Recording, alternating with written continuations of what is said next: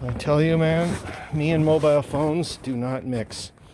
Anyways, um, I maybe two thirds or three quarters of the way done. Because um, I just wanted it enough to um, be able to uh, read in, but uh, I won't be able to sit up right now. Getting there.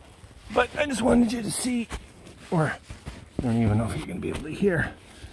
It's so quiet. Oh, I love it in here. Um, yeah, I've got quite a bit more digging to do, but I got to the point now. At least I can lie down a little bit and enjoy the peace and quiet. I mean, if I had, um, I think a little uh, something from out uh, from inside to bring down for uh, like for because I mean, you know, the ground is just sucking the heat from me right now. It's like there's snow tomorrow, but if I had uh, like a little um, ground cover thing, I think I would actually even take a nap right in, in here because it's just it's just enough for me to kind of, kind of curl up and I could take a nap. It's so quiet in here. Um, yeah, years ago when we had one much bigger, Zoe and I, uh, Zoe and I, and uh, used to play um, Go Fish by candlelight and listen to classical music on a wind-up radio inside one. And uh, our dog Marley used to run inside, and all three of us. Yeah, so it was quite a bit of room. And uh, um,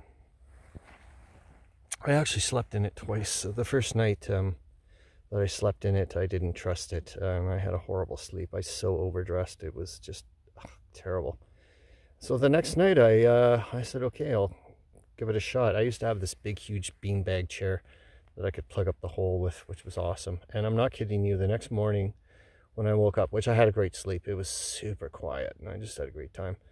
Um, it was minus 24 degrees outside, outs, uh, just outside the Quinzee with a wicked wind, which I did not hear.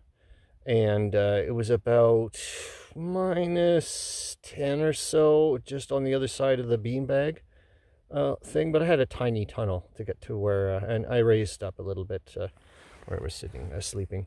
And it was only three degrees. Uh, I mean, well, it was pretty warm. It was, well, considering what I think, it was three degrees where I was sleeping. And I mean, like I said, I just, you know, I had a sleeping bag and a toque and really about it. And I had a wonderful sleep.